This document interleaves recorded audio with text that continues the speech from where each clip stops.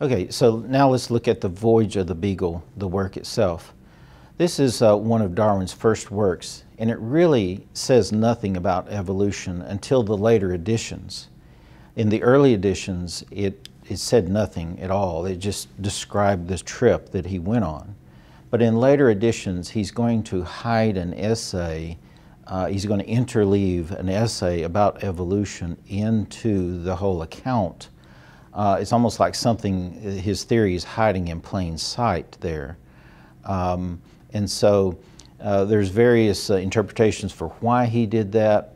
Uh, you see, for the 20 years uh, between the publication of The Voyage of the Beagle and the publication of The Origin of the Species, uh, the book that changed the world. He really wanted to publish The Origin, but he was holding back. Uh, he was quite reluctant to publish it for various motivations and reasons that run all the way from, well, he wanted to be very careful, uh, to social considerations uh, about, you know, the kind of impact that his idea would have upon the world. But anyway, in later editions, like I said, there is a, you, and if you happen to get one of the later editions, you will see in there ideas about evolution, but they're subtle. Now, the voyage intrigues and fascinates most readers. It, it, draws you in. Darwin is a very good writer, uh, and that's one of the reasons for the immediate popularity and the su success of his views. Even though he's an academic and he's a scientist and so forth and so on, he's got a high literary style that draws you in and engages you. And so he fascinates readers with all kinds of vivid descriptions.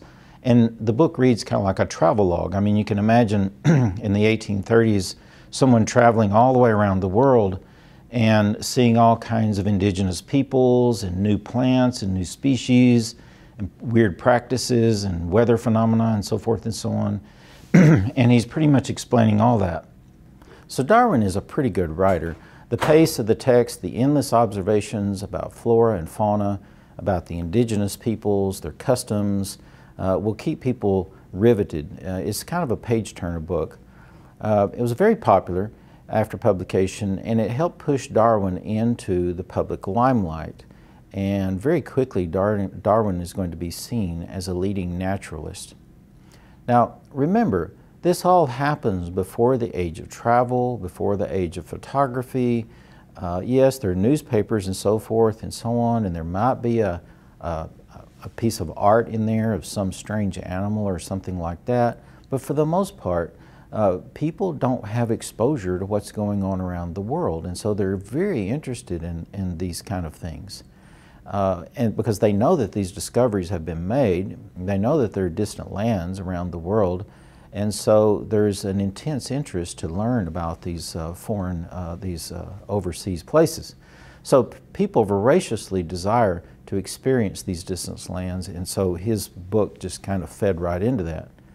Now, it reads like an, an ethnography and a travel log and a kind of a discovery guide as well to new plants, animals, and lands.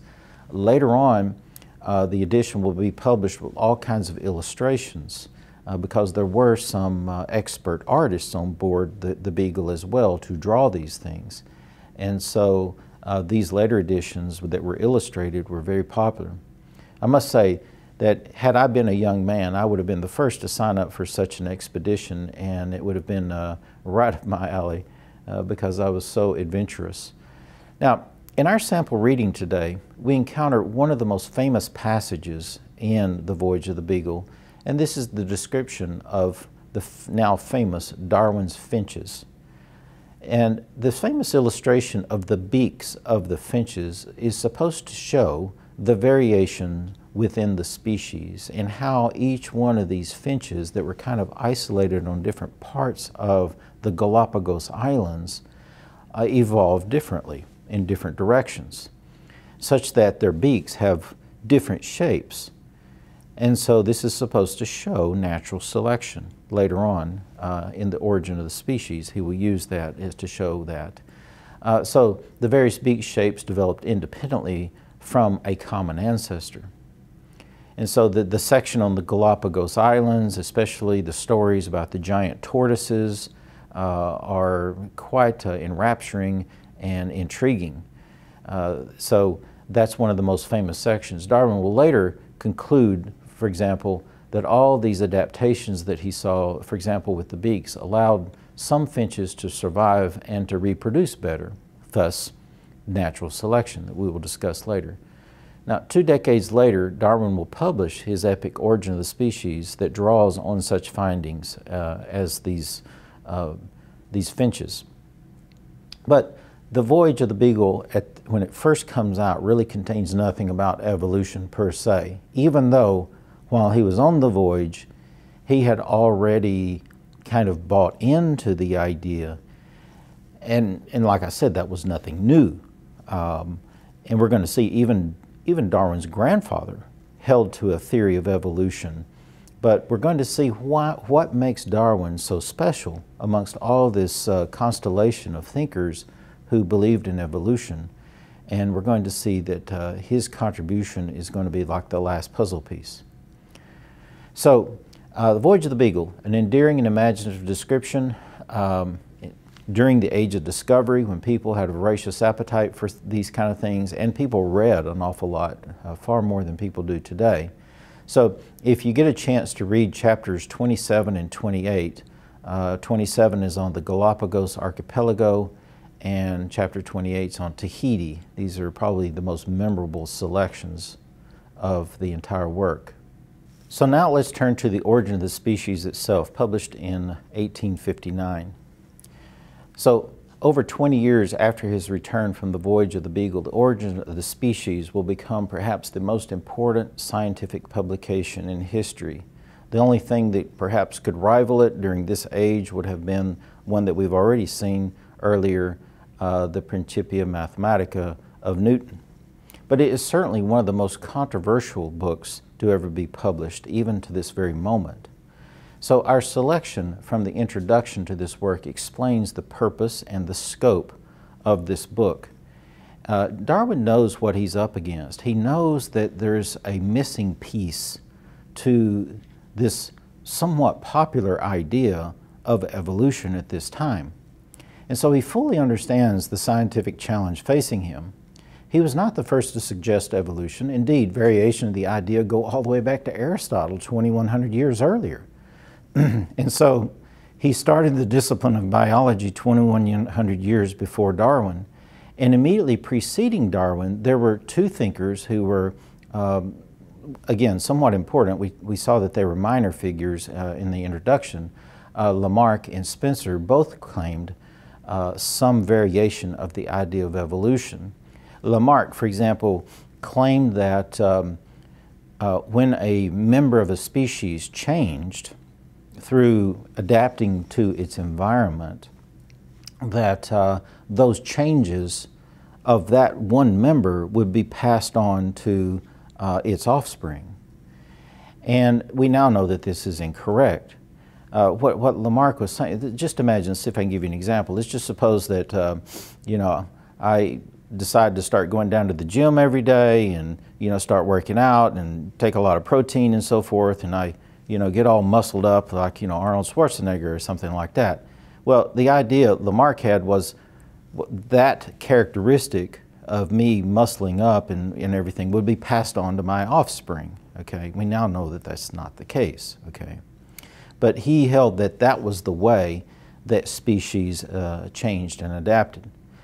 Uh, that mechanism is incorrect, and, and Darwin is going to find the correct mechanism. Okay, so uh, Spencer also held to some ideas. In fact, he's the one that gives Darwin the phrase, well, he doesn't give it to him, Darwin borrows the phrase, survival of the fittest. Um, but Spencer's ideas are also have a lot of wrong uh, ideas that were disproven, and Darwin is going to try to distance himself uh, from Spencer's ideas. But both of these guys preceded Darwin. So, like I said, even Darwin's grandfather, Erasmus Darwin, held the view of evolution, and he did make some precious insights into the adaptation of species and the common ancestry of all animals from one species. So the notion of natural selection was kind of in the air at this time, uh, two, even two decades before Darwin sets foot on uh, the beagle and before Darwin reads a very important work for this whole story, uh, written by Thomas Malthus uh, on population, which we'll discuss in just a moment. But what Darwin, and then later, but before Darwin publishes his ideas in The Origin of the Species, uh, a guy named Wallace, Alfred uh, Wallace, uh, what they both grasped was necessary, uh, and Darwin succeeded in explaining, was demonstrating the proper causal mechanism for evolution, which we now call natural selection. And yes, the phrase survival of the fittest is deemed to be a kind of parallel phrase, but some people think that Darwin should not have used that. Okay, he should not have borrowed that concept from Spencer. But uh, yeah, we're going to discuss natural selection here in just a minute. But it's Darwin's vast data set that made him the ideal person to set forth these ideas in the origin of the species. He had far more data and far more explanation than Wallace. Wallace just had the right idea, exactly the same idea. But Wallace's idea was not, um, he didn't have it backed up with a lot of findings the way Darwin did. okay? So, Darwin's initial flash of insight into natural selection came when he was reading a work by an economist named Thomas Malthus uh, called The Essay on the Principle of Population. Malthus was an English economist, and uh, his ideas, somewhat controversial today, but uh, Malthusian ideas on population growth and food production are something that intrigued Darwin and kind of gave him this flash of insight. It had an aha moment. Now, Malthus is no biologist. He's talking about economics and population growth. But the principle that he laid out there was one that Darwin borrowed and immediately saw that applied to uh, the questions that he and so many other people were asking what is the mechanism of, of evolution. So what Malthus claimed was this, is that populations always outgrow the food production, creating a surplus population of poor people who are malnourished and who will die because the malnourished, they're going to be sick and they're going to die or just die from starvation. But the increase in the population will grow too fast. And these impoverished people die off. And thus, now the population numbers come back down and the population number remains stable. So the question is this why is it that we see so many species, including human beings, produce far more offspring than are going to survive. The population numbers remain relatively stable. And Darwin had noticed this as well. He, he would take, uh, you know, uh, notice how, how a, a popu- the numbers of a certain species remain relatively stable. They increase very slowly, or if not, or not at all. But they produce far more offspring, okay? And so this is a, was a big question. Now, Darwin will adapt this Malthusian doctrine to the vast species that compete for food and overproduce, only to have the excess population of that species die off or be eaten by other species. the individuals uh, in each species who are the strongest get enough food while the weaker members die of starvation. The stronger go on to reproduce and to pass on their traits to the next generation and this leads ineluctably to a new species, says Darwin. And that's you know, one of the things that is going to be um, the, the final piece of the puzzle. now, as a kind of a cultural tie-in, uh, you may remember the, the famous uh, story uh, of Dickens about the character Scrooge in The Christmas Carol, written in 1843, right about this same time. Dickens has uh, the Malthusian philosophy and doctrine uh, uttered by Scrooge. In other words, Scrooge is kind of a Malthusian character in this story. So Scrooge infamously scowls uh, when asked to donate money to the poor, and he was told, Well, aren't there poorhouses? And then he was told, Well, the poor would rather die than to have to go into the poorhouses.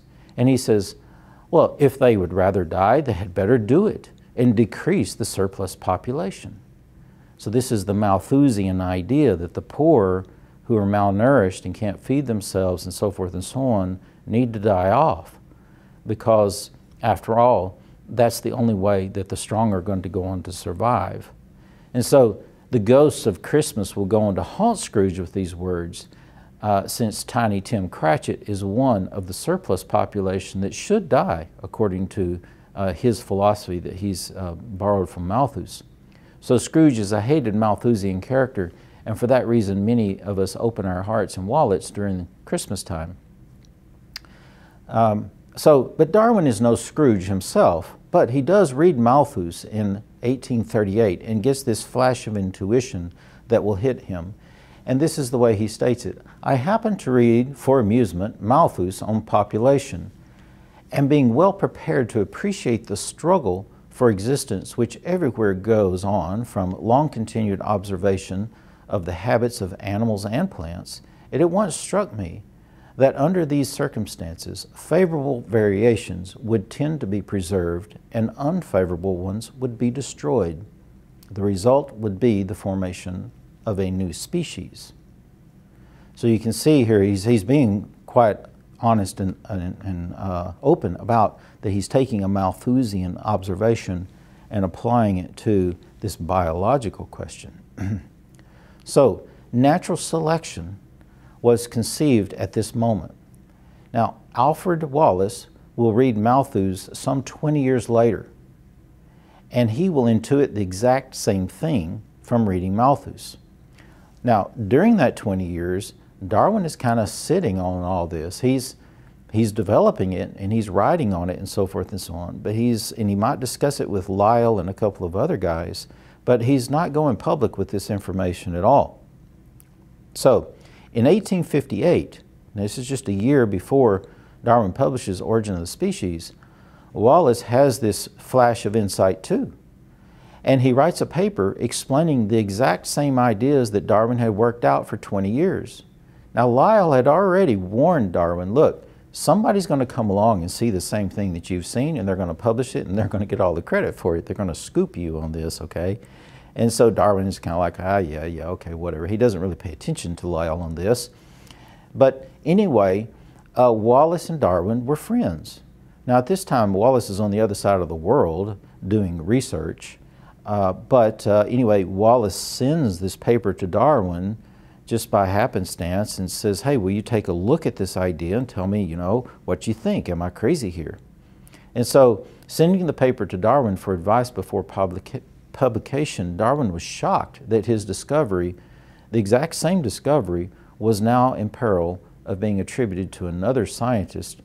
Uh, and this is what is going to compel him to get busy and write The Origin of the Species. Now, at this time, Darwin was trying to kind of amass an encyclopedic work, a huge work that will never be published, okay? but he's going to try to overwhelm any objection with encyclopedic evidence. And he realizes that this big book on evolution will never get finished. And so the origin of the species was meant to be a short compendium, kind of a shortened version of that, okay? And it's Wallace's letter to him with Wallace's paper that's going to compel him to go ahead and publish it. Now, Darwin's a fair man on this. He didn't want, not want to suppress Wallace's insight, obviously, or anything like that. So Darwin, uh, Darwin's friends suggested that the, the two things be published simultaneously, side by side, in a way that everyone could see that the ideas are the same, but Darwin had worked these ideas out for two decades. And so even later on, Wallace will admit that, that Darwin is really the father of this whole idea of natural selection and evolution, okay? but they both acknowledge that they got these ideas independently by reading the same work, and that was Malthus's work on population. But the real credit belongs to Darwin. So whether Malthus's economic theories about population growth were correct or not, and they're probably not correct, uh, I haven't launched into a deep study of that, but I do know that there's quite a bit of opposition to Malthusian ideas that he was incorrect about population growth and so forth. There are many, many other things that affect population growth that Malthus did not take into consideration. However, he did inspire Darwin's ideas of natural selection with descent from a common ancestor. So, The main argument of the origin is this, and it's in our reading for this week. Darwin states it very clearly. Like I said, he's a good writer. He tells the reader exactly what you need to know in very plain, clear language. Uh, but in our reading uh, this week, we read the, the, uh, the introduction uh, to Origin. And he says there, as many more individuals of each species are born than can possibly survive, and as consequently, there is a frequently recurring struggle for existence, it follows that any being, if it vary, however slightly, in any matter profitable to itself under the complex and sometimes varying conditions of life, will have a better chance of surviving and thus be naturally selected. From the strong principle of inheritance, any selected variety will tend to propagate its new form, its new and modified form. So the idea here is that yes, it is a survival of the fittest, but it's almost like it's a reproduction of the most aptly adapted. So whatever variation in an, an offspring, a brood of some type of a species of an animal and so forth, whichever one of those is most aptly adapted to its environment will get more food, will avoid being eaten, will go on to flourish and then to propagate, in other words, to reproduce. So the way I'm often explain this, you know, it's, it's fairly easy to see. Let's just imagine some dragonflies. So a dragonfly lays, you know, a bunch of eggs. And so all these little dragonflies hatch and they're going to have some slight variations. Now Darwin didn't know about genetics at the time, but we do now know about genetics. And so the slight genetic variations maybe makes one of those dragonflies have wings that are just a little bit longer, maybe like a half of a millimeter longer than the other ones. So that dragonfly is going to be a little faster. He's going to get away from predators. He's going to be able to get to food and eat it before the other ones and so forth and so on. So let's just say 10,000 dragonflies were born Well, this one goes on to survive. The rest get eaten or die off from starvation or something like that. And so now this dragonfly is going to go on and reproduce because it's going to live. And so thus it will pass on its genetic characteristics to the next generation and the same thing will happen over and over and over and over again. Darwin theorized that eventually these tiny small variations would stack up into a slow morphing, a uniformitarian view of one species morphing into another species. Okay? That's the gist of the argument. And, but what makes him so powerful is that he identifies the causal mechanism, which none of the other guys had done. Neither his grandfather, Lamarck, Spencer, uh, Lyell, None of, none of his predecessors had done that for the past 2,100 years, going back to Aristotle. So, Darwin will later apply the phrase survival of the fittest uh, in a later edition of The Origin. So, The Origin has various editions, and as it goes through various editions, there's a few changes. And one is that he adds Spencer's term, uh, survival of the fittest.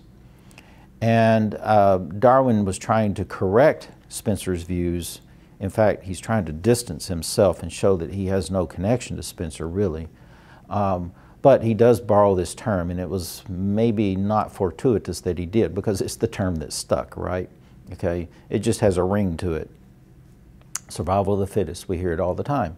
So, uh, certainly, uh, he's trying to distance himself, but the phrase's rhetorical appeal was irresistible, and it did seem to capture the main idea of natural selection. I think a more accurate but less catchy phrase would be the reproduction of the aptly adapted. The idea is that only those species members that are aptly adapted for a particular environment will get the chance to reproduce. So survival of the fittest stuck, becoming a part of our cultural vocabulary now for a naturalistic process of competing and evolving life forms.